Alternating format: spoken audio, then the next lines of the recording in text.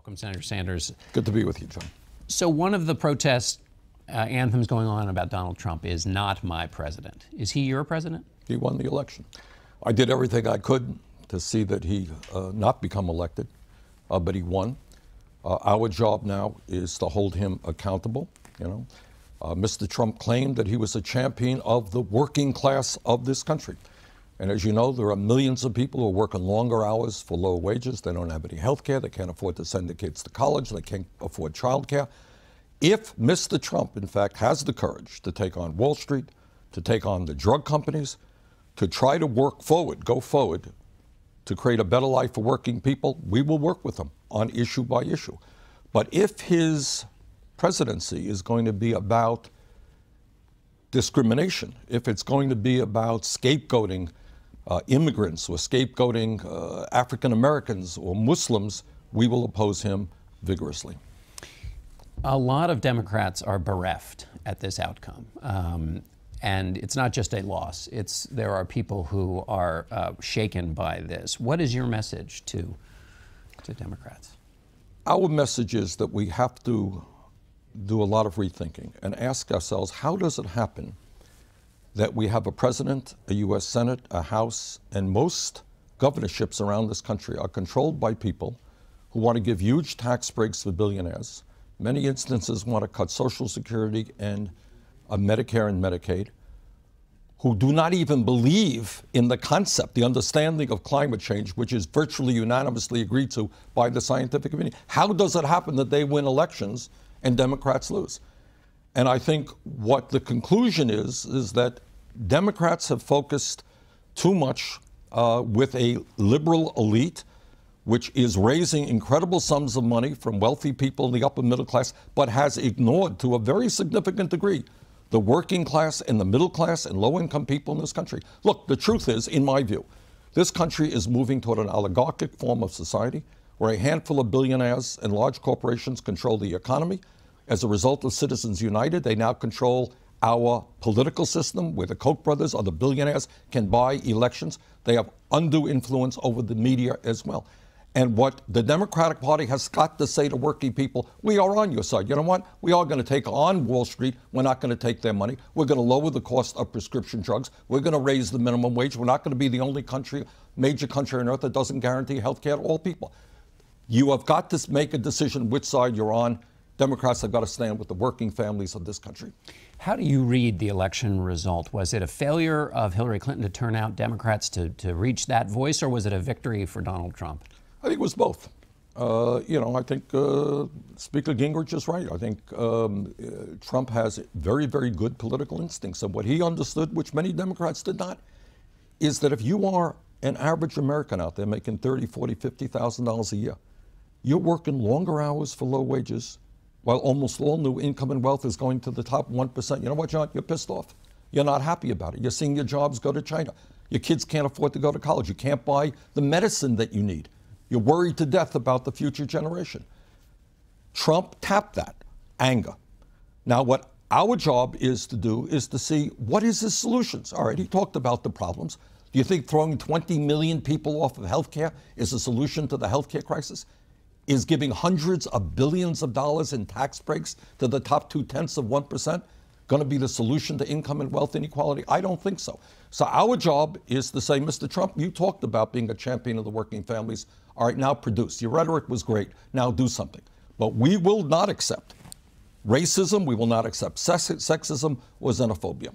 Do you think that his campaign was built on that? Newt Gingrich said that idea was garbage. No, Newt, I'm afraid Mr. Gingrich is wrong. Uh, I'm not saying that's all it was built on. But when you begin your campaign uh, by talking about throwing uh, 11 million people who are undocumented out of this country or building a wall uh, with Mexico or preventing uh, Muslims, one of the largest religions in this country, uh, in the world, I should say, coming into this country, of course, to a large degree, it was built on that. Democrats going forward, should they pay attention to the way you ran your campaign or the way Hillary Clinton ran hers? I think it's time, it's not just Hillary Clinton's campaign, it's time to rethink whether or not the Democratic Party can simply spend so much time and energy raising money from wealthy people and putting ads on television. What we need to do is create a grassroots movement of millions of people who want to transform this country and make it the kind of country that we know that we can become. John, there is no rational reason why we pay the highest prices in the world for prescription drugs. No rational reason why we are the only major nation on earth that doesn't guarantee health care to all people. We don't have paid family and medical leave. Why are our kids going to see a lower standard of living than their parents? We can transform this country. We're a wealthy country. We can do it. But we have to have the courage to stand up to the billionaire class and corporate America and Wall Street to do it. All right, Senator Sanders, we're going to take a quick break. Then we're going to be back. We'll talk about your book a little bit. So we'll be back in a moment with more from Senator Sanders. Stay with us. And we're back with more from Senator Bernie Sanders, who is not only a former presidential candidate, but the author of Our Revolution. Senator, is this the user's manual, owner's manual for the new democratic revolution? I think it is, John. I mean, what I try to do there, half of the book is talking about the campaign, uh, why I ran for office, what we did well, what we didn't do well, the kind of excitement that we generated all over this country. But the other half of the book basically asks the question and tries to give the answer. How do we go forward?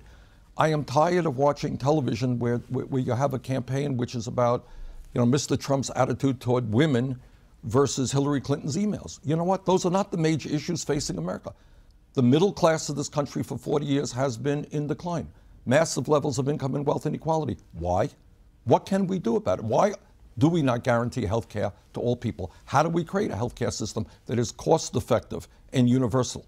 What about a broken criminal justice system? Why do we have more people in jail than any other country? How do we invest in our young people so they don't end up uh, in jail?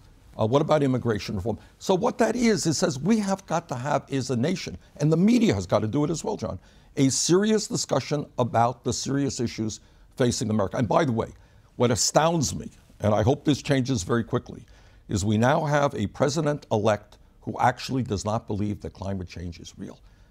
I worry very much what this means for our kids and our grandchildren and the future of this planet. And millions of people are going to have to tell him, Mr. Trump, you are dead wrong and we're going to have to transform our energy system. But uh, are you talking about marches on Washington? Are you what's the what's the what's the action item for a nervous Democrat out there?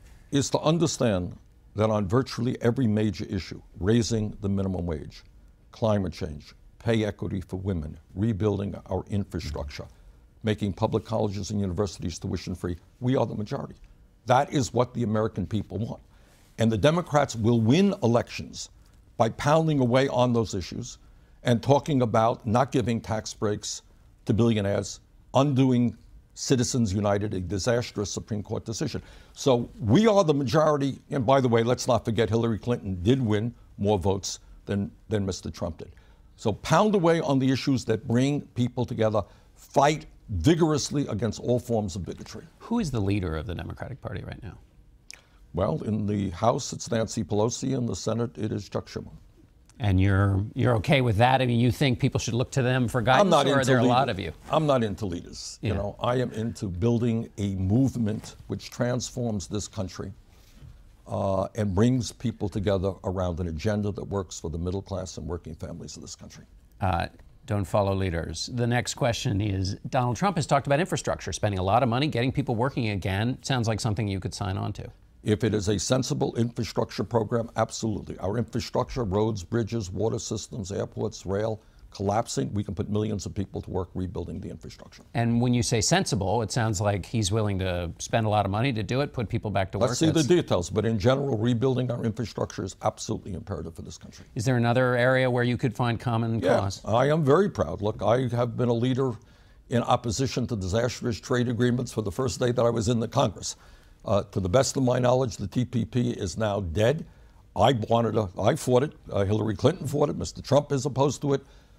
There's an area creating a trade policy so the corporate America starts investing in this country, not in China. Yeah, we can work together on that. All right, Senator Sanders, we'll look forward to having you back. Thanks so much for being here with us, and we'll be back in a moment.